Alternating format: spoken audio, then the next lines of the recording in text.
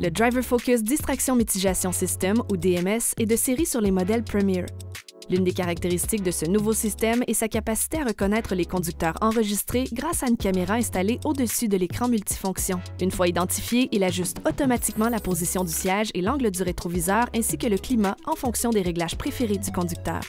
Jusqu'à 5 conducteurs peuvent s'enregistrer pour la reconnaissance des pilotes Driver Focus. Pour configurer un profil, entrez dans le véhicule, définissez des préférences spécifiques telles que la position du siège, les réglages de la climatisation et les réglages des rétroviseurs latéraux. Dans l'écran de réglage multifonction, sélectionnez Système de surveillance du conducteur, puis enregistrez l'utilisateur. Sélectionnez dans la liste le numéro que vous voulez enregistrer, sélectionnez Régler pour lancer le balayage facial et tournez la tête d'épaule en épaule d'un mouvement détendu et fluide. Lorsque vous entendez la tonalité audible, et que l'écran change, l'enregistrement est presque terminé.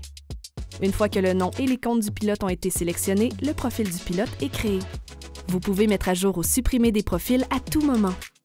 La caméra reconnaît le profil du conducteur en mesurant les caractéristiques faciales telles que la distance entre les yeux, la bouche et le nez et se souviendra de ces réglages lors de votre prochaine entrée dans le véhicule. Gardez à l'esprit que Driver Focus n'enregistre aucune image, audio ou vidéo. Le port de lunettes peut empêcher le système de fonctionner correctement car les montures ou le revêtement réfléchissant peuvent masquer l'œil.